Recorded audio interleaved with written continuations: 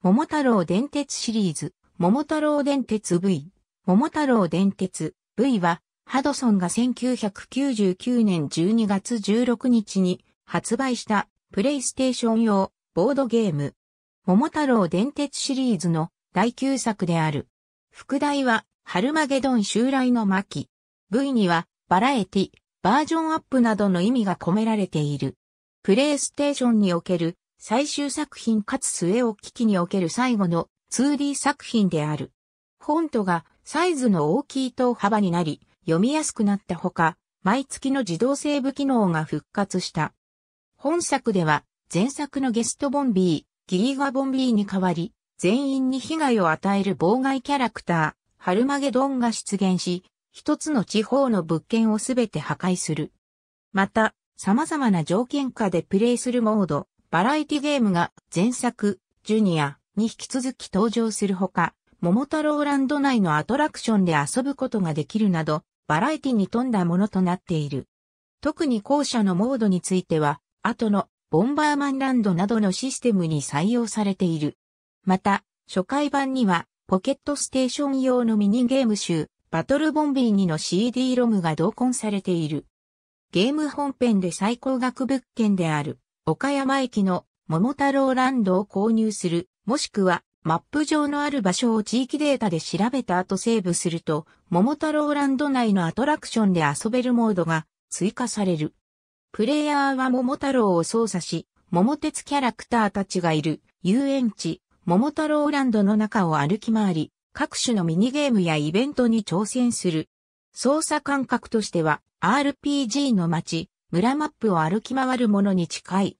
プレイヤーが操作する桃太郎はいつもの背広のような格好だが、登場する他のキャラクターの大半は、ヤシャ姫の振袖姿など、桃太郎伝説の衣装を着ている。桃太郎もミニゲームで伝説の衣装になる。ただしスリの銀次は、ちょんまげではなく角刈り。ミニゲームで一定の成績を上げたり、ミニゲームやアトラクションを一定回数プレイしたり、各地のイベントをこなしたりすると、都市カードがもらえる。入手した都市カードは、カードアルバムで絵を鑑賞でき、さらに一定枚数集めるごとに移動範囲が広がり、99駅、すべての都市カードを集めると特別なイベントが起こる。ここで登場するミニゲームは後に、桃太郎祭りに再収録されたものも数多くある。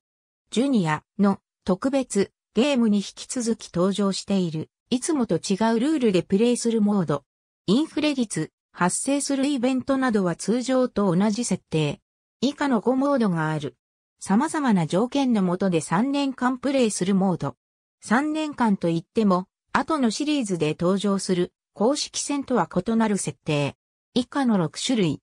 指定されたチェックポイントの駅をすべて回り、資産に関係なく最初にゴールした人の勝ち。以下の4種類。ワープ駅は使用禁止。最初にマイナス10億円に達した人の勝ち。あっち行けカード、焼き味噌カードなど貧乏神を呼び寄せるカードを最初から持ってスタートする。最初に本作に登場する99箇所すべての物件駅に泊まった人の勝ち。目的地などは通常と同じように設定されるが、総資産は全く関係ないので、まさに不毛な戦いである。沖縄でぶっ飛び、カードを使用し、一番遠くに飛んだ人の勝ち。止まったマスから沖縄までの最短距離が飛距離として計測される。海のマスや海外に止まった場合は、チッポチャとみなされ失格となる。名称は、ドラゴンクエストとドラコンのパロディ。